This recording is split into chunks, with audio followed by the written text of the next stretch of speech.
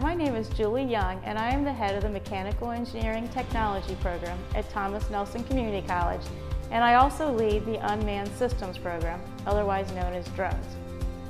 At Thomas Nelson Community College, we offer a Career Study Certificate in UMS technology that can be earned with as few as three classes.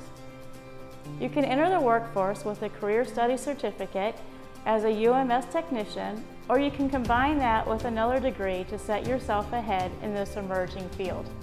The job outlook is excellent.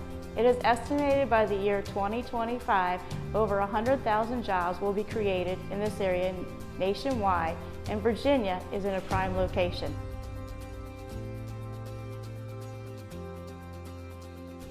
Hi, my name is Cherie Auckland. I teach Information Systems and GIS at Thomas Nelson. In our drone program, we'll get you outside and flying right away. You'll learn how to plan and fly both an autonomous and a manual mission from the beginning to delivering a product. We'll even teach you how to select equipment and how to use the software needed to deliver that product. Hi, my name is Pete Berquist. I teach geology at Thomas Nelson Community College. In our drone program, we try to incorporate real-world practical applications for students in all of our classes. We worked with a local farmer to see how we could use drones as part of their business. We initially explored how we could use drones to assess plant health for the different crops on the farm.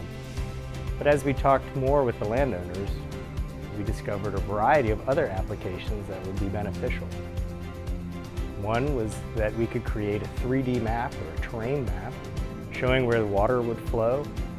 And that helped them figure out which kinds of plants would be best to grow in different parts of the field.